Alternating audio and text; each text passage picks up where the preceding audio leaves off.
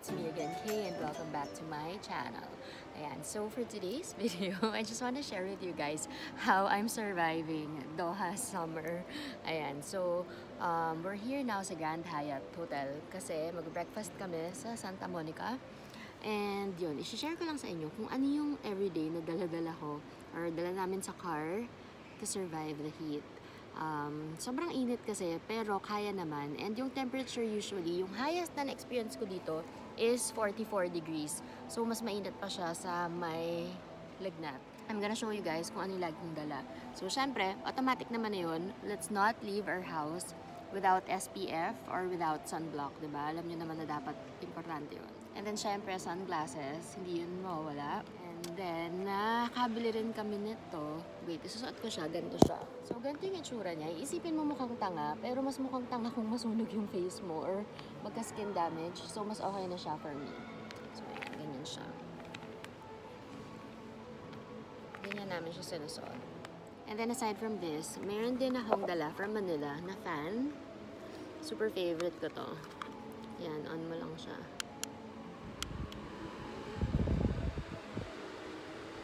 Yan. And last but not the least, na super favorite ko, na gamit na gamit din sa amin, is itong Beauty Buffet. Actually, this one is by Gino McRae, the professional makeup. Mineral water spray siya. This is a mineral water spray na nabibili siya sa Beauty Buffet.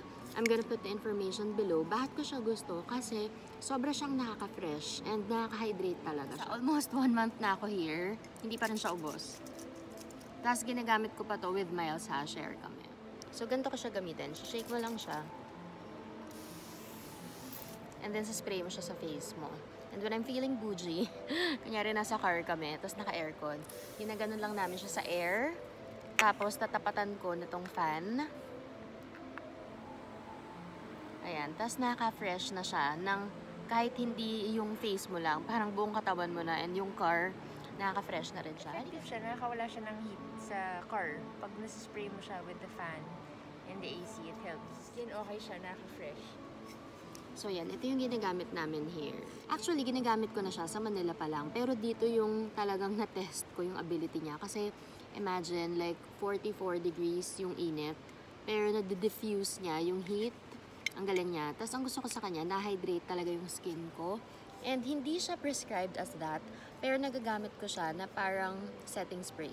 So, kunyari, after ko mag-apply ng moisturizer, and then mag-apply akong blush or whatever, uh, powder, siya na rin yung pinaka-setting spray ko. Tapos, ang nagustuhan ko rin sa kanya, when you use it within the day, it doesn't move your makeup. Kung may product ka sa face mo, kasi may mga ibang mist, ang lalaki nung patak niya, ito, may kita nyo, ang halos hindi mo nga makita actually, may kita mo na sobrang liit ng mga butil ng water. Kaya ang ganda nung paglapat niya sa face mo. Hindi yung parang ibang facial mist na ang laki ng mga drops. So parang pag spray mo, nagugulo yung makeup mo or product sa face. So yun lang, shinare ko lang guys na yan yung mga ginagamit namin here para hindi kami sobrang mainitan dito sa Qatar and masurvive namin ang Qatar summer. So yun lang guys, if you have any comments, questions, or suggestions, just put them in the comment box below or send me a message on Instagram. Yan, magbe-breakfast lang kami. If you feel like hanging out pa with us, I'll just insert clips of anong ganap sa aming breakfast. So yun lang.